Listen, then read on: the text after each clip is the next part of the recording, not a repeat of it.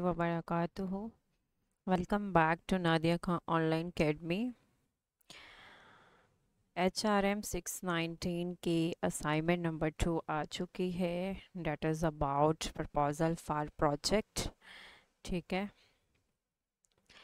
सो so, ये इसमें क्या करना है? आपने अपना प्रपोज़ल जो है वो बनाना है अकॉर्डिंग टू फॉर्मेट और ये आपका फ़र्स्ट चांस होगा। ठीक है? तो जो आपको इंस्ट्रक्शंस गिवन हैं उन इंस्ट्रक्शंस के अकॉर्डिंगली आप अपना प्रपोज़ल बनाएँगे। सो so, इसमें मैं आपको कम्प्लीटली गाइड करूँगी हाउ टू मेक प्रपोज़ल ठीक है? एंड uh, आप टॉपिक सिलेक्शन जो है वो किस तरह से कर सकते हैं। उससे पहले uh, अगर किसी भी स्टूडेंट को पेड प्रोजेक्ट हैंडलिंग चाहिए हो तो मुझे व्हाट्सअप पे कांटेक्ट कर सकते हैं। और यहाँ पे मेरे चैनल पे आके आप रिव्यूज़ भी चेक कर सकते हैं ठीक है? सो so, इसमें जो है कंप्लीट प्रोजेक्ट हैंडलिंग में जो है वो आपको आपका कंप्लीट प्रोजेक्ट हैंडल किया जाता है जिसमें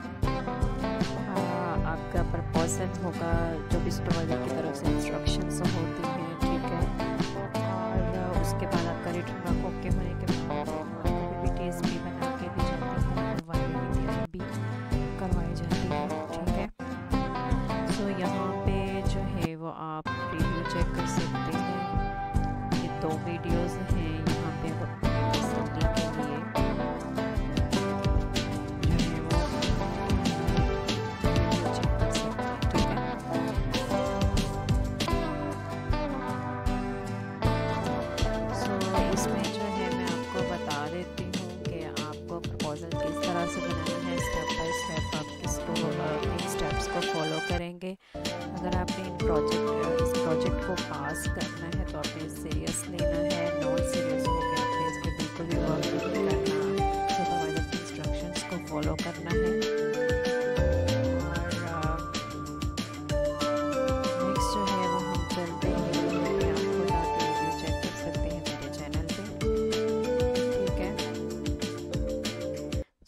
अपनी असाइनमेंट की तरफ़ जाते हैं, जिसमें सबसे पहले हम इंस्ट्रक्शंस रीड कर लेते हैं। हाँ अच्छा इसमें क्या आपने क्या करना है? प्रपोज़ल बनाना है, ठीक है फॉर्मेट के अकॉर्डिंगली और ये हैंड बुक अवेलेबल है। यहाँ पे आप डाउनलोड फाइल्स में जाके वहाँ से डाउनलोड कर सकते हैं। नेक्स्ट जो है, आपने एलएमएस पे ही इसको, अपनी असाइनमेंट नंबर टू को सबमिट करना है। और ये प्रोजेक्ट प्रपोज़ल जो है, ये कंपलसरी है। इस असाइनमेंट को, बल्कि इस प्रोजेक्ट की किसी भी असाइनमेंट को आप स्किप नहीं कर सकते।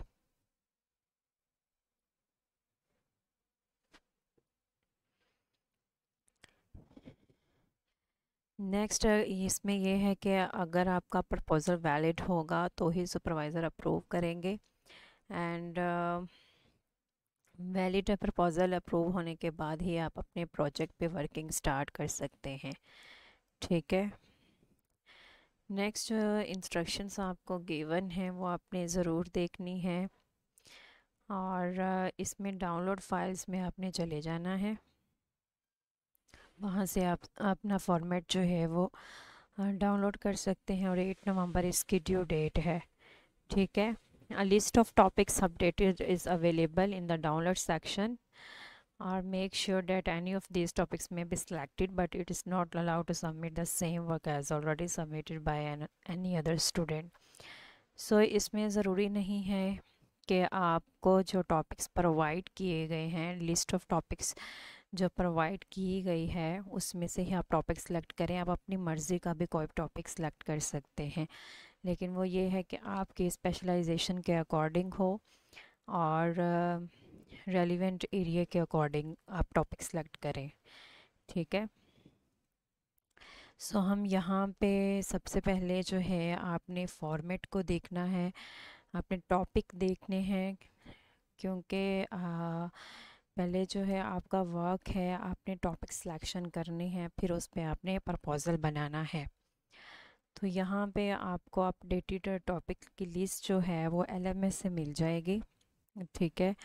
और क्वांटिटेटिव रिसर्च में जो है हम जो सॉफ्टवेयर यूज़ करते हैं uh, वो एस पी एस एस हम यूज़ करते हैं एस ए एस ठीक है? और एक्सेल जो है वो डाटा एनालिसिस के लिए मतलब ये जो जितने भी सॉफ्टवेयर यहाँ पे हाईलाइटेड हैं या बताया गया है तो उनको हम जो है वो डाटा एनालिसिस के लिए यूज़ करते हैं, ठीक है? तो इस प्रोजेक्ट के लिए आपके पास जो है वो S P S S software का होना बहुत ज़रूरी है, उसका मैं आपको इंटरफेस भी शो करवा देती हूँ। इस तरह से जो है हमारे पास ट्वेंटी वन वर्जन है S P S S software का। इस तरह से आपके पास जो है ये सॉफ्टवेयर ओपन होगा। इसमें दो जो है हमारे पास कैटेगरीज होती हैं, एक वेरिएबल व्यू होता है, ठीक है, जो भी हम यहाँ पे इनपुट देते हैं, वो हमें डाटा व्यू में यहाँ जो है ये शो करवा दिया जाता है, ठीक है, यहाँ पे, ठीक है, और फिर जो है अगर हमने अपना डाटा एंटर करने के बाद यहाँ पे हम मुख्तफ जो भी है, हमारी रिसर्च क्वेश्चंस के अकॉर्डिंगली हमें टेस्ट अप्लाई करने होते हैं, वो हम इसके अकॉर्डिंगली यहाँ से टेस्ट अप्लाई करते हैं, ठीक है। सो so, ये सिर्फ़ आपके इंफॉर्मेशन के लिए था आपके पास S P S S software होना चाहिए इस प्रोजेक्ट को अटैम्प्ट करने के लिए। नेक्स्ट जो है यहाँ पे आपको काफ़ी ज़्यादा टॉपिक्स बताए गए हैं। इसमें आपने अपनी मर्ज़ी का टॉपिक लेना है। अच्छा टॉपिक सिलेक्शन जब आपने करनी है अपने कुछ बातों को अपने माइंड में रखना है एक तो आपने देखना है कि आया कि आप जो टॉपिक ले रहे हैं, वो आपके स्पेशलाइजेशन एरिया के अकॉर्डिंगली है या नहीं है, ठीक है? दूसरा आपने देखना है कि आप जो टॉपिक ले रहे हैं मेन इस पे जो है, वो आर्टिकल्स मौजूद हैं या नहीं हैं? अगर आर्टिकल्स मौजूद हैं तो कितनी क्वांटिटी में आर्टिकल्स इस पे मौजूद हैं? मतलब कितने आर्टिकल्स इस पे हैं? ठीक है?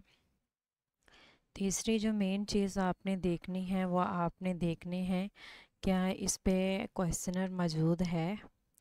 क्योंकि इसमें जो आपने क्वेश्चनर यूज़ करना है as a tool for data collection उसमें ये आपको पता होना चाहिए कि आप खुद से स्केल डेवलप नहीं करेंगे बल्कि अपने अडोप्टिव स्केल्स लेने हैं। सो so, जो भी आप वेरिएबल सेलेक्ट करें उसमें आपने मस्ट देखना है कि इस पे स्केल्स मौजूद हैं या नहीं हैं, ये इन तीन चीज़ों को अपने माइंड में आपने रख के जो है वो टॉपिक सिलेक्शन करनी है। ठीक है? अब इस तरह से हमारे पास दो वेरिएबल लिया जाते हैं जॉब करेक्टरिस्टिक्स और an organizational citizenship behaviour so इन दोनों पे आपने देखना है कि इन पे स्केल्स अवेलेबल हैं या नहीं हैं। और कंप्लीट स्केल देखना है। कंप्लीट पीडीएफ फॉर्मेट में आपके पास स्केल मौजूद होने चाहिए ताकि आपको बाद में मुश्किल ना हो। ठीक है तो इसमें से कोई भी टॉपिक आप अपनी मर्ज़ी का सिलेक्ट कर सकते हैं। अब आपने प्रोसेस को क्या फॉलो करना है? आपने टॉपिक सेलेक्ट कर लिया। अब आपने क्या करना है? फॉर एग्जांपल अगर मैं ये वाला टॉपिक लेती हूँ impact of emotional intelligence on employee performance ठीक है? अब ये अगर हम टॉपिक देखें तो इसमें सिर्फ़ वेरिएबल्स का बताया गया है। इसमें ये नहीं बताया गया कि हमारा सब्जेक्ट क्या होगा, हमारी पॉपुलेशन क्या होगी, ठीक है? तो सब्जेक्ट से मुराद ये है कि हमारी जो रिसर्च है, वो हम किस पे करने जा रहे हैं। हमारी हम टीचर्स पे करेंगे, हम एम्प्लॉयज़ पे करेंगे, कंपनी के एम्प्लॉयज़ लेंगे, ठीक है? तो इसमें आपने ये ज़रूर आइडेंटिफाई करना है, बल्कि ये टॉपिक में मेंशन करना होता है। उसके बाद जो भी आप पॉपुलेशन लेंगे एज़ लाइक जहाँ पे आप जॉब कर रहे हैं, आप वहाँ के एम्प्लॉय से डाटा कलेक्ट करेंगे तो वहाँ पे मेंशन आपको ये मस्ट करना होगा कि मैं जो है वो इस कंपनी के एम्प्लॉय से डाटा कलेक्ट करूँगा। मतलब आप कंपनी के अपने नेम वहाँ पे मेंशन करेंगे टॉपिक में, ठीक है? तो फिर ये आपका टॉपिक जो है वो कंप्लीट होगा। नेक्स्ट जो है अब ये देखें, ये वाला अगर हम टॉपिक लें, इसमें एच आर प्रैक्टिस जो है, उसका इम्पैक्ट देखना चाह रहे हैं performance of employees of the banking sector ये तो यहाँ पे वो बैंकिंग सेक्टर की इन्होंने बात की है तो यहाँ पे वो बैंक के एम्प्लॉय से डाटा कलेक्ट करेंगे, ठीक है? यहाँ पे यूनिवर्सिटी टीचर्स का बताया गया तो ये बेसिकली हमारी पॉपुलेशन को आइडेंटिफाई करता है। तो अब इसमें अगर हमने ये टॉपिक लेना है तो आपने क्या करना है? आपने गूगल स्कॉलर पे जाना है। गूगल स्कॉलर पे जाने के बाद यहाँ पे जो भी आपने वेरिएबल्स सेलेक्ट किए हैं, उन वेरिएबल्स को आपने लिखना है और फिर देखना है कि उस पर कितने टॉपिक्स जो हैं, वो ऑलरेडी रिसर्च उन पर हो चुकी है। उन तमाम आर्टिकल्स को आपने डाउनलोड कर लेना है। ये देख लें, यहाँ पे हमारे पास जो है काफ़ी ज़्यादा आर्टिकल्स आ गए हैं। ठीक है इनको आपने जो भी टॉपिक सिलेक्शन करनी है आपने इसको सर्च ज़रूर करना है सिंपली आप गूगल स्कॉलर पे चले जाएँ। उसके बाद हमारे दो वेरिएबल्स हैं इन दोनों वेरिएबल्स में आपको पता होना चाहिए कि आपका डिपेंडेंट वेरिएबल कौन सा है और इंडिपेंडेंट वेरिएबल कौन सा है। सो so, यहाँ पे आपका जो इमोशनल इंटेलिजेंस है वो आपका इंडिपेंडेंट वेरिएबल है। ठीक है? और जो एम्प्लॉय परफॉर्मेंस है वो डिपेंडेंट वेरिएबल है, ठीक है? तो ये भी चीज़ें आपने आइडेंटिफाई करनी है कि डिपेंडेंट वेरिएबल कौन सा है और इंडिपेंडेंट कौन सा है। उसके बाद आपने क्वेश्चनर देखने हैं अपने एक एक वेरिएबल को लेके, क्या या कि उस पर कंप्लीट क्वेश्चनर मौजूद है या नहीं है या उससे रेलिवेंट है या नहीं है, ठीक है? ये सारी सर्चेस करने के बाद अगर आपको क्वेश्चनर स्केल्स मिल जाते हैं तो फिर आप अपना वो टॉपिक जो है वो फाइनल करें और उसको एक रिफ़ाइन कर लें। अगर हम देखते हैं तो इसमें आपने फॉर्मेट ऑफ़ प्रपोज़ल ठीक है? इसको आप फॉलो करेंगे अपने प्रपोज़ल बनाने के लिए टॉपिक सिलेक्शन के बाद, ठीक है? और ये आप वर्ड फॉर्मेट में बनाएँगे एम एस वर्ड में। सो so, इसमें सबसे पहले आप अपना टॉपिक मेंशन करेंगे जो भी आपने टॉपिक सेलेक्ट किया हुआ है ID name university name logo है डेट ऑफ़ सबमिशन ठीक है वो आप मेंशन करेंगे। नेक्स्ट जो है वो टेबल ऑफ़ कंटेंट ये टेबल ऑफ़ कंटेंट आप बनाएँगे ठीक है। और चैप्टर नंबर वन में जो भी आपने टॉपिक सेलेक्ट किया है, सबसे पहले आपने इंट्रोडक्शन लिखना है इंट्रोडक्टरी पैराग्राफ से मुराद ये है कि आपका जो टॉपिक जो है, वो जिस बारे में भी है, ठीक है, उसमें आप एक या दो पैराग्राफ इंक्लूड करेंगे। और जो आपके प्रोजेक्ट टाइटल है, वो किस बारे में है, उसमें आप स्पेसिफिकली लिखेंगे रैशनल है कि why are you taking this topic ठीक है? And why are you conducting this research on this specific topic so आपने यहाँ पे जस्टिफिकेशन देनी है कि आप ये क्यों ले रहे हैं टॉपिक तो ये तीन चीज़ें जो है, वो आपने इंट्रोडक्टरी इंट्रोडक्शन में लिखना है इंट्रोडक्शन ऑफ़ द प्रोजेक्ट में। नेक्स्ट जो है, वो बैकग्राउंड आपने लिखना है। बैकग्राउंड आप जब आर्टिकल्स रीड करेंगे डिफरेंट आर्टिकल्स रीड करेंगे तो आप उसके पर्सपेक्टिव में भी आप लिख सकते हैं। लेकिन ये है कि वो आपके टॉपिक से रेलिवेंट हो। नेक्स्ट ऑब्जेक्टिव्स आपने लिखने हैं। ऑब्जेक्टिव्स आप दो से तीन बना सकते हैं। ठीक है? That should be aligned with the selected topic ठीक है? जो भी आपने टॉपिक सेलेक्ट किया है उससे अलाइंड होने चाहिए और ऑब्जेक्टिव की बेस पे ही आप हाइपोथेसिस बना सकते हैं या फिर आप रिसर्च क्वेश्चन बना सकते हैं। तो जितनी क्वांटिटी में आप ऑब्जेक्टिव्स बनाएँगे एक या दो उतने ही आपने हाइपोथेसिस या रिसर्च क्वेश्चंस बना लेने उस आ, उससे अलाइनमेंट होनी चाहिए ठीक है? ऑब्जेक्टिव्स की हाइपोथेसिस या रिसर्च क्वेश्चन के साथ। और जब हम ऑब्जेक्टिव्स डेवलप करते हैं तो it should be measurable and achievable और एक्शन वर्ब को हम यूज़ करते हुए अपने ऑब्जेक्टिव सेट करते हैं। नेक्स्ट जो है वो सिग्निफिकेंस ऑफ़ द स्टडी या प्रोजेक्ट आप लिखेंगे। इसमें यह है कि जो रिसर्च स्टडी है, उसके आउटकम्स क्या होंगे, ठीक है? और जो आप रिसर्च कंडक्ट कर रहे हैं, वो डिपार्टमेंट के लिए किस तरह से बेनिफिशियल हो सकती है? और उसके रिज़ल्ट्स को किस तरह से इम्प्लीमेंट किया जा सकता है और उसमें चेंजेस लाए जा सकते हैं। तो ये सिग्निफिकेंस ऑफ़ द स्टडी में आपने डिस्कस करना है। मेथोडोलॉजी वाले पार्ट में आप लिखेंगे, अपनी टाइप ऑफ़ रिसर्च के हवाले से बताएँगे कि आपकी जो रिसर्च स्टडी है वो क्वांटिटेटिव होगी या क्वालिटेटिव होगी। बेसिकली दो तरह की रिसर्च होती है, एक क्वांटिटेटिव होती है, दूसरी क्वालिटेटिव होती है, ठीक है? और उसमें आपने बताना भी है कि आपकी ये स्टडी जो है वो क्वांटिटेटिव क्यों है या क्वालिटेटिव क्यों है? उसके बाद आपने डाटा कलेक्शन सोर्सेज के हवाले से बताना है। दो तरह से जो है वो हम डाटा कलेक्ट करते हैं। एक हमारे पास प्राइमरी सोर्स होता है, दूसरा सेकेंडरी सोर्स होता है, ठीक है? तो इन दोनों सोर्सेज को आपने डिफ़ाइन करना है अपने टॉपिक के परस्पेक्टिव में। नेक्स्ट डाटा कलेक्शन टूल में आपने बताना है कि आप डाटा कलेक्शन के लिए कौन सा टूल यूज़ करेंगे? क्वेश्चनर यूज़ करेंगे या इंटरव्यू है ऑब्ज़रवेशन है? सो so, ये आपने इसको रैशनल के साथ बताना है और क्यों आपने ये पर्टिकुलर टूल लिया डाटा कलेक्शन के लिए ये भी आपने इसको जस्टिफाई करना है। उसके बाद सब्जेक्ट पार्टिसिपेंट्स में आपने बताना है कि आपकी टारगेट पॉपुलेशन क्या होगी।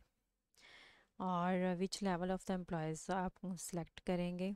और सैंपल साइज़ आप कितना लेंगे? है क्या सैंपल साइज़ सैम्पलिंग फ्रेम को डिफ़ाइन करेंगे? और कौन सी सैम्पलिंग तकनीक को आप यूज़ करेंगे? और क्यों? फिर आपने डाटा कलेक्शन बता देना कि आप डाटा कलेक्ट किस तरह से करेंगे, ठीक है? और डाटा कलेक्शन को जो है उसकी क्वालिटी को किस तरह से अश्योर किया जाएगा? नेक्स्ट डाटा प्रोसेसिंग और एनालिसिस है, ठीक है?